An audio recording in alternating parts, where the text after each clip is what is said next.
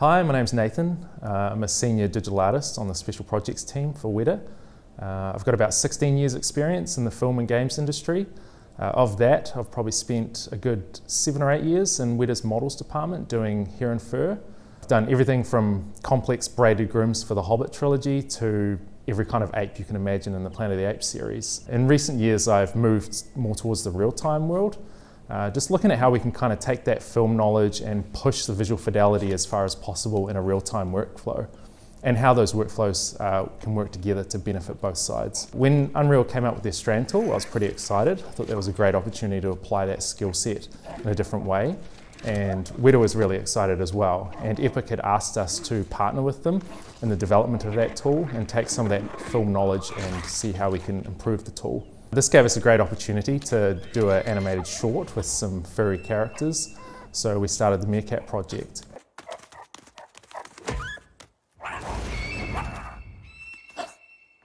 Our partnership with Epic goes back a number of years now.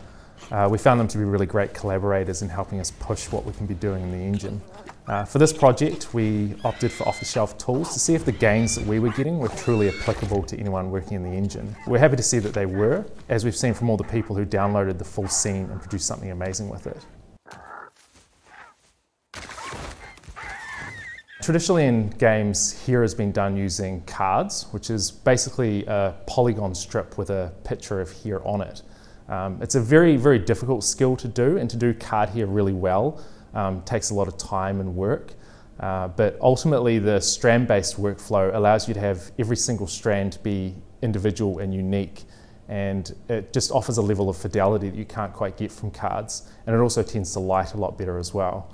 Um, we see in film that uh, we can pretty much achieve photorealistic hair and fur. So being able to take that skill set and apply that in a real-time use is pretty exciting.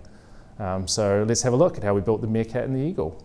So I'll just go over the basic workflow for making a groom for film. If you are a groomer in the film industry, this stuff is pretty familiar. It's a pretty standard workflow. If you're new to strand-based grooming, then this is kind of a brief overview of the process. Uh, it's not meant to be a tutorial. The first thing that you're going to do is gather reference. If you're making something real world or not real world, you will still ultimately want to ground your work in reality to some degree. So having a ton of reference will help you create a more believable creature.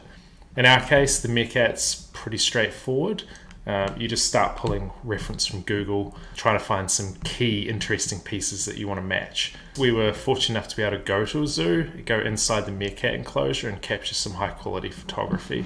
I use PureRef. I find it's a very, very good way to pull images, organize them, zoom in and out, and kind of just collate it into one easy place. So you can see it's a whole variety of reference images all sort of combined together and from that we pick out a few specific reference images that we want to match that just sort of encapsulate the shapes and forms of the meerkat. You can see through the chest area there's a certain flow to it, it flows up into the shoulders and the neck and then bends around and flows down. Same thing through the abdomen, it bunches up through the center line here. So we just select a few of those, covering most of the angles some of them show good silhouette for some of the bunching that happens, and obviously capturing the feet, the hands, uh, and some good close ups of the face. So, when building out the actual model, uh, in this case, I was lucky enough to be able to do the model and the fur. Um, that's not always the case. Sometimes you'll have a different artist doing your base model and then another artist doing the fur. But in either case, it's important to consider the pose that the uh, creatures in, uh, particularly for an animal like the meerkat, where it has such an extreme range of motion. It can be fully up on its feet, straight up, and also fully down on all fours, running around. So in this case, I opted to model it with a more of a 45 degree uh, posing, so it's kind of halfway in between both of those extremes. Um, the same thing with the hands. The hands are bent sort of halfway, not fully flat, not fully straight.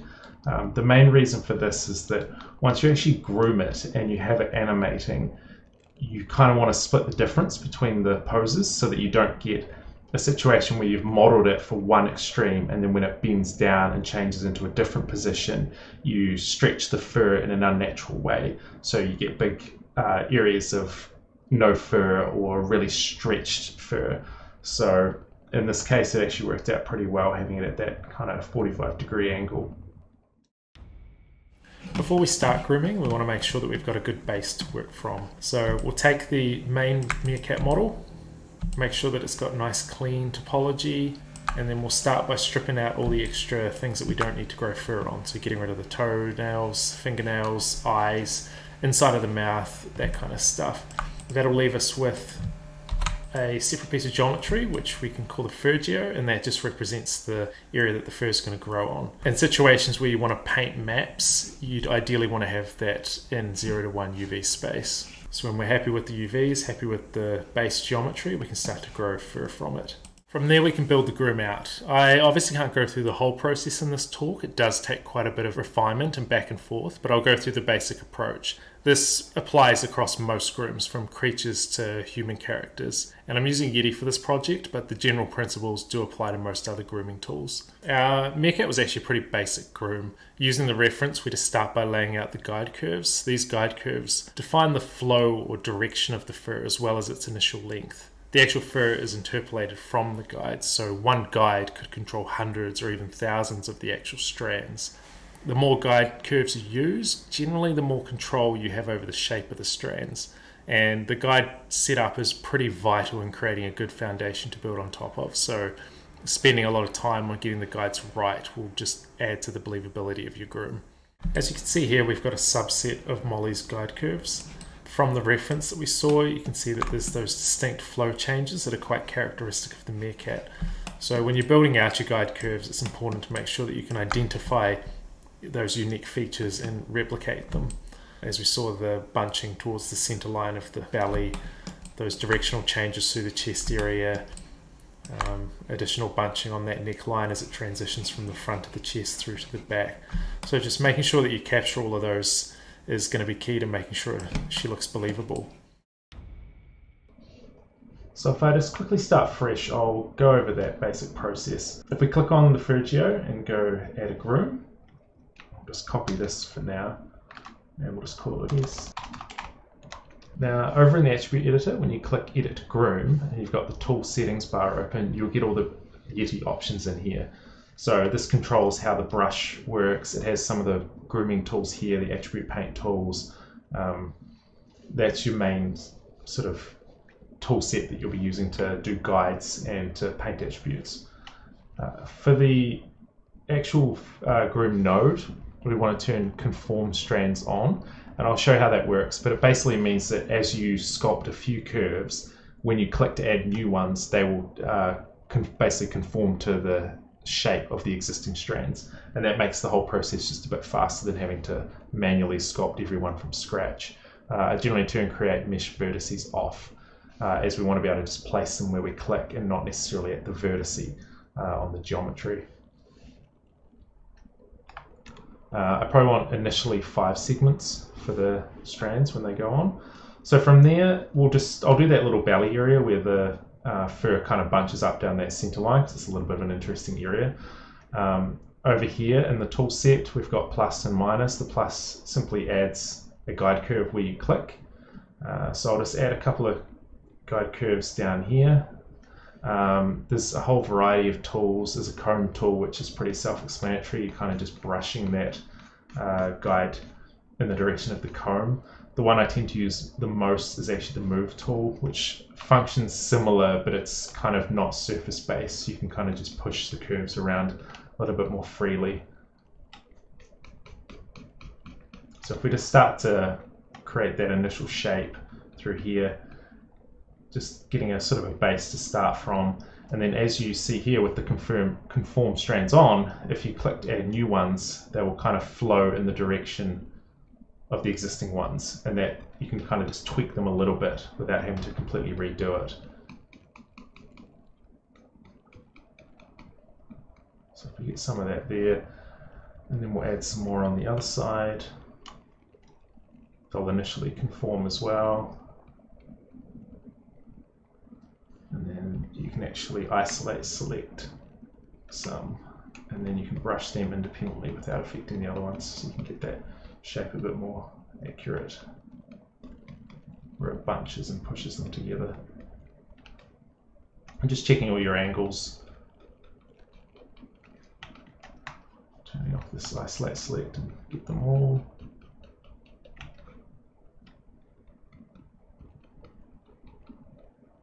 And that's kind of basically the process for it. Um, if you want to put a larger volume of them quickly, you can just have a bit of a larger radius and just paint them in quickly and then use the comb tool um, just to give them a quick shaping move tool. You can just flow it and contour it over the body.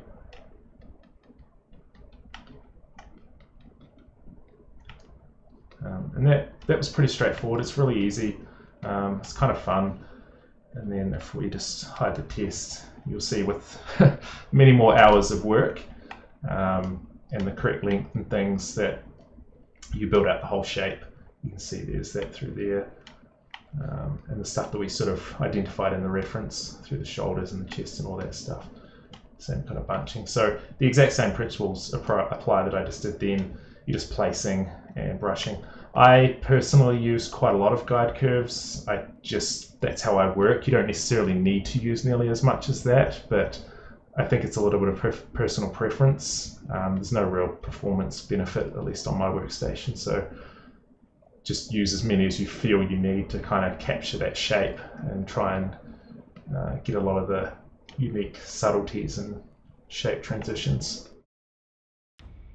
When we have the guides in a good place, we can generate the actual strands. From there we add several layers of clumping and noise and then spend a lot of time painting in those attributes to create variation in those main structures, depending on where we see more or less of that textual breakup in the reference. As you can see in the chest and belly area, it's shorter and smoother. On the back, it's longer and has that layered structure with a bit more clumping. We also get that tighter bunched up clumping through the lower belly where the direction changes. So I'll just quickly show you how the attribute painting works, as it's quite an important thing. If I just hide the groom and show the base uh, guide curves, um, you'll see that the each guide curve also has an attribute value at the bottom of it. Um, you don't have to necessarily have the two connected. You can create a separate uh, groom node that is just for attribute paintings, but in my case, I've got so many curves, I just kind of use the same uh, same groom node. But if I hide the strands, you'll see there's a bunch of colored dots on it, and that basically defines um, a value for a certain attribute, like the clumping or the um, the noise, for example. Uh, I think the I think it goes from dark purple to orange, and that's basically zero to one. If I turn the heat map off, you can see black means the effect is nothing, and one mean the effect is at 100% uh, based on what you've defined in the node graph. So it's a bit easier to see with the heat map on. So if I click on some of these, you'll see, for example, that's the small clumps weight. So in this case, I've got a lot of small clumping through the back. Uh, you can see a little bit of variation through there, and that's what I was kind of talking about, getting that breakup. So we see the green and the lighter greens, the yellows, the uh, oranges. That's the variation and how much and how how intense that effect is from those small clumps. And then I've got much less through the belly, much less through the arms, where we saw that smoother, uh, smoother fur. So if I go through the attribute list here, you've got that master scraggle. I've got it pretty much everywhere. Um, there's a bit of variation in the master scraggle node, um, but it applies almost everywhere except for those really short fine hairs on and around the face. Small, cl uh, small clumps, some variation across the whole body, even where it's mostly applied across the back, there's a little bit of variation there. Large clumps, uh, same thing, master density, I've got a little bit of change in a couple of areas. Uh, micro scraggle, uh, much less scraggle through the face.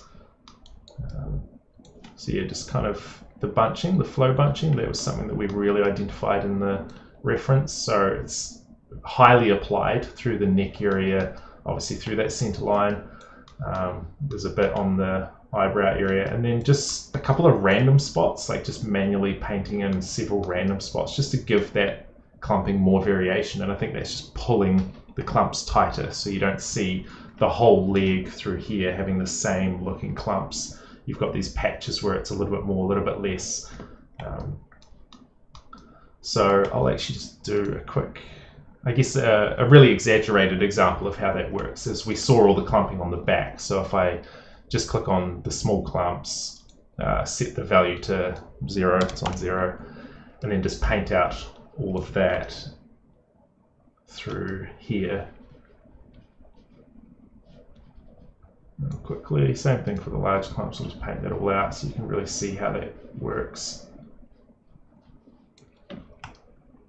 So if we go back to heat map off, black. So basically the effect of the small clumps and the large clumps is nothing in those areas.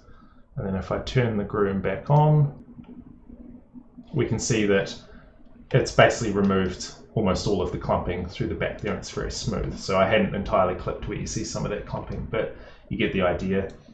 Um, that's kind of up here's what it looked like. And then as you paint those values, you change the effect of that on it. And that's basically what's been happening over the whole body just to create all that variation and uniqueness. Up on the face, you can see that there's quite a bit of variation in how the clumping is done up here. So you can see on the cheek where it's a bit longer towards the back of the cheek, you've got some clumping there. As it transitions forward towards the nose, you have a little bit less of that. It starts to loosen up, starts to get a bit shorter um, and then it changes direction uh, through the mouth area and up onto the nose bridge. Um, within the clumps themselves, there's uh, quite a bit of variation. I think the groom as a whole actually only has three clump nodes, and each of those nodes has a little bit of variation in how the clump's done and its radius, it's how tight it's clumping, where it's clumping along the uh, strand from towards the tip um, to the base. So combining those three together, um, you can kind of get like some larger clumps that are a bit more broken up towards the end. Um, you can see some of the smaller subclumping that happens inside the larger clumps. Uh, you have a few that are a bit tighter, more pinched up, and all of that variation is coming from the painted attribute maps. So you paint a little bit more of the larger clumps, a little bit less of the larger, a little bit more of the tighter clumps and then overall you get a lot more variation. Um, you can see as it comes down and transitions towards the neck, some of this is a bit softer, um, where it might be rubbing against the neck fur as well. Um, over here towards the shorter hair, you have very little clumping because it's all just very short hair. It's pushed along in, along one direction. Um, up on the brow line where it's a little bit longer, again you see some of those clump shapes um, through the head, head, top of the head. Uh, it's it's still quite uniform, and it's uniform in the reference as well, but it's all not exactly the same. So you can see here's like a small tuft that's a bit different. Here's some shorter ones. Here's some more tufted ones. Like there's just enough variation in there that it um, doesn't all look exactly the same, even though it's actually quite a smooth uh, surface over the head and then down through the neck, same thing sort of happens, and then towards the back where it's a lot longer. You can see some of those variations in the direction that we did in the um, in the guide curves. So you can see there's some longer ones through here as it wraps around. Uh, through here is a bit of a shape change, just that variation and breakup, and then the thicker clumps, the smaller clumps. All that just adds to the, the realism of it. Uh, you can see through the the arms, it's quite distinct as well. It's actually a bit smoother through there and it gets longer as it goes up towards the elbow. Um, you've got a distinct part line through where the forearms are, which is breaking off to the side and wrapping around, and then it's a little bit shorter on the inside as well. It's quite smooth through the hands, um, a little bit more clumping around the fingernails, where it's a little bit longer. As we said, the chest is relatively smooth. Down that center line. On the side, you can see there's some uh, clumping coming through here, and there's actually a bit of a line, a visual line that you can see um, which is also in the reference. That is that transition from the longer fur on the back to the shorter fur in the belly. And the tail as well, but a bit of variation through there. Um,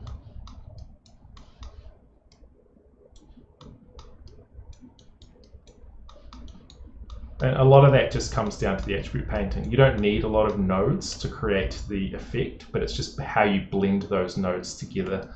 Um, combining that with a couple of different variations in the scraggle, so it's not all uniform scraggle um, and noise. As I say, it can be a very time consuming process, but it's the attribute painting that really makes the difference in creating that more natural variation and realism that you see in the references. The other thing that you would have noticed is that I've got different colors on certain parts of her fur. This has been set up in a way that we have different group IDs for each of the different fur sets. Um, there's a couple of different benefits to that. So if I show you the graph, you can see that at the top here, I've got the main fur, I've then got the belly fur, I've got some extra fur on the face, um, these ones basically control the clumping. And then this one's the silhouette fur. Uh, and then they are all merged together and different effects are applied as it goes down. So, you know, we add the large clumping, we add smaller clumps, scraggle, um, some more micro scraggle, and again, they're all painted with the attribute maps. Um, and the purpose for that is it gives us extra control both in the engine and in here when we're sculpting uh, the fur. So you can see I've got those colored. The red fur is the silhouette fur, the blue fur is that belly fur, uh, the greenish color is the main fur, and then the pink on the face is extra fur. Uh, just to fill it in a bit more. We notice in a few cases it wasn't quite uh, rendering correctly in the engine how we wanted it to when it was getting very small. So by separating these out, it gives you specific control over certain parts of the face. Um, if I just isolate some of that, I'll just take, say, the uh, fur on the face, disable the silhouette fur. So you can see hair, this is just the shorter finer here on the face. It does blend in with the other areas, which I think is good. Again, it just adds a little bit more of that variation. Um, those finer, smaller, thinner hairs, they also add into some of that clumping structure with the slightly thicker, larger hairs from the body fur. Um, and then as we saw, the silhouette fur,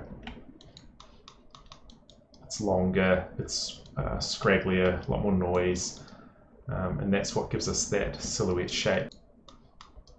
So if we look at the silhouette fur, for example, having these separated out um, gives us control. So over here, this section, as I say, is the, the nodes that control that silhouette fur.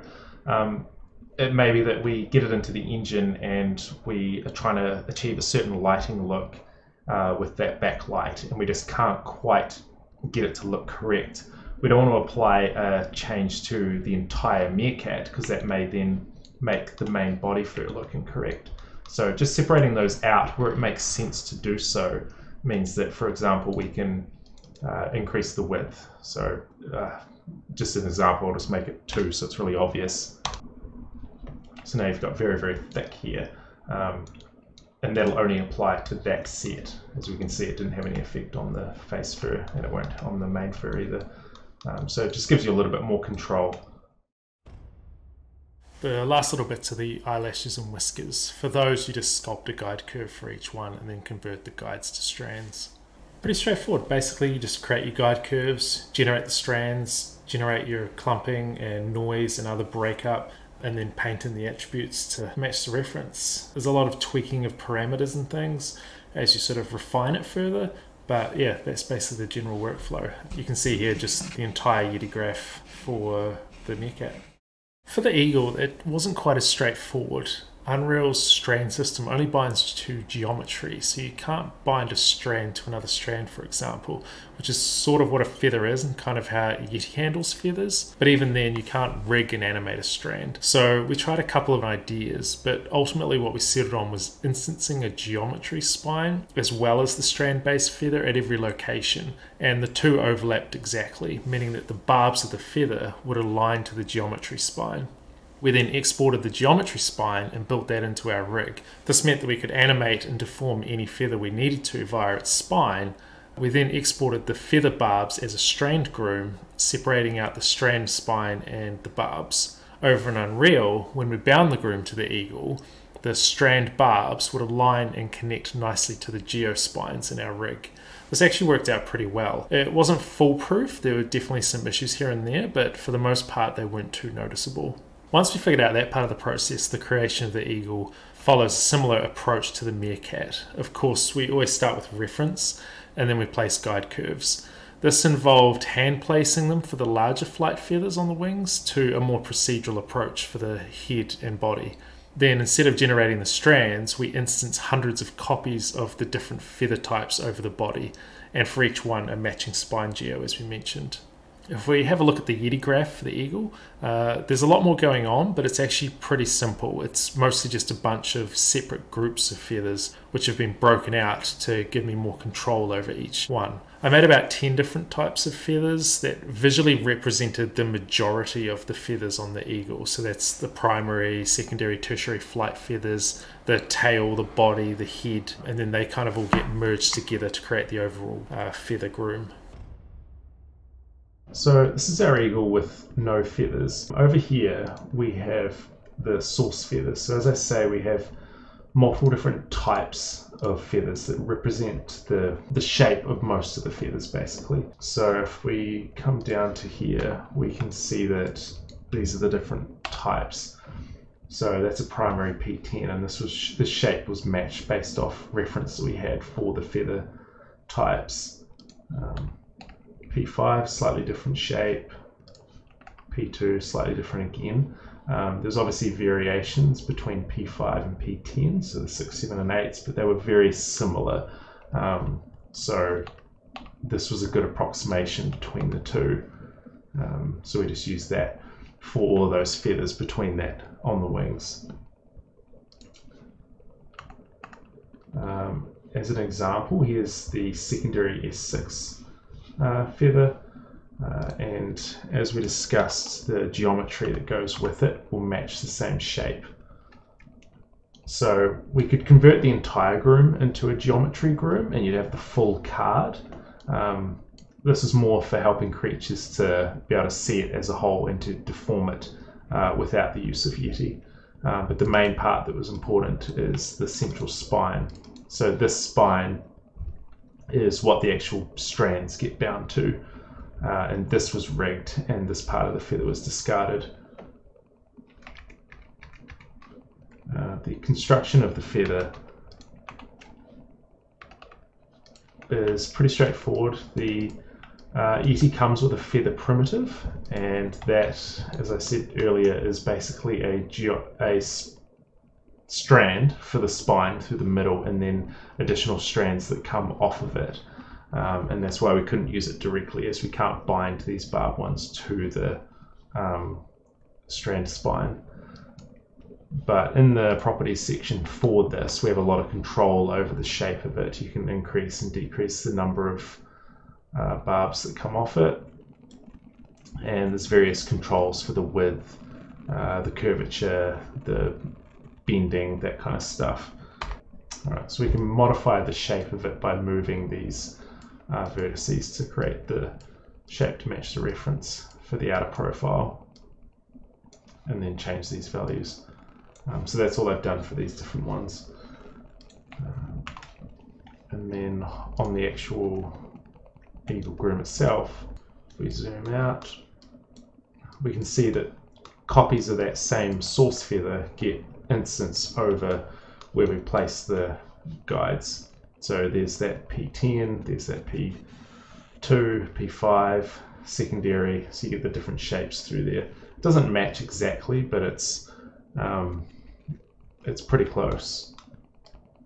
And then for the body, um, just a bunch of body feathers that are all instanced across the surface, uh, a bit more procedurally and less hand placed. Uh, for the face, there's an additional fur set on here, which is more of that traditional approach that we did with the meerkat.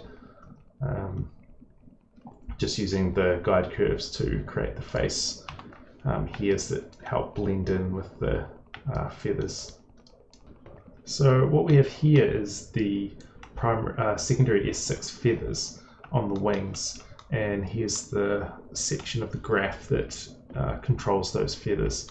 So what's actually happening here is we've got the geometry card that we built, which matches, and the Yeti feather, and the two of those are being combined together to ensure they have the same position and transform and properties, uh, and they match. And then over here we have a switch node. Um, so I can export the entire groom as a strand groom, which is what we put into the engine. And then by switching that, we can convert the entire groom to uh, our geometry card. So the card, which includes that important spine was uh, exported and sent to creatures, and they discard the uh, outer part of the feather and keep the spine for rigging. Um, and then we use that in the engine uh, with our strand groom to do the binding.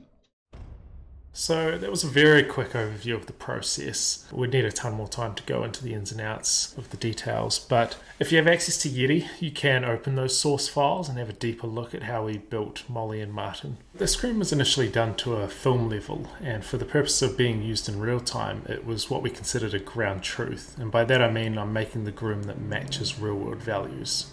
So the number of individual strands, the thickness, the details along the strands all have as close to real world values as we can discern. We just export to Unreal's ABC format from the Yeti menu. Over in Unreal, we just import like any other asset, but if you're new to this, there's actually a couple of important import settings. With the Maya Yeti setup, we need to do a negative 1 scale on X, negative 90 rotation on X, and 180 on Z. This simply corrects for the transform between the applications, and this will give us the groom as we it in Maya, but with X forward and Unreal, and that'll match the orientation of our skeletal mesh, which is important for binding the assets later. Once the groom is in Unreal, we can just drop it into a scene and have a look. As I said, we start with our ground truth and then we can dial it back from there if need be. So I'll quickly go through some of the things that we did with the Meerkat to get it running a bit more smoothly in the engine while still matching as much of the visual fidelity as possible. For the most part, it just comes down to the number of strands and the number of points or vertices along the length of each strand, as well as balancing the thickness of the strands. By changing those three parameters, you can take a ground truth groom and have it run in real time substantially faster while still having it look pretty good. Strands is the obvious one. Fundamentally, less strands equals more performance. But before we start reducing the strand count, we reduce the vertices. The main thing that will be affected by changes in verts is the strand noise. That's the amount of frizziness and small changes in directions along the length of the strand. So we pick an average viewing distance, which basically means seeing how close to Molly we get throughout the camera sequence. For the most part, we see her from chest up or wider with a couple of closer shots of her face. So with that in mind, we start reducing the number of verts and just visually look to see where we feel it breaks down too much while also keeping an eye on performance. I also have different fur groups in her groom so that we can refine that even further. So the belly, the short hairs on her nose, the longer guard hairs, and the main body fur, they all have different vert counts and strand counts to help with that optimization. The tiny facial hairs might only have two or three verts, while the longer body hairs that are a bit more frizzy might have 10 to 15, for example. Once we're happy with the vert reduction, if we still need to, we can start removing strands. Removing entire strands will have a bigger visual impact than the verts, but you can kind of compensate for that strand loss by increasing the strand thickness a bit. As you can see here, we reduce the strands and increase the thickness, and it still looks pretty close to what it was, but you get a lot more performance back. So with that said, if I put the two grooms into the engine side by side, we can see that they still look quite visually similar.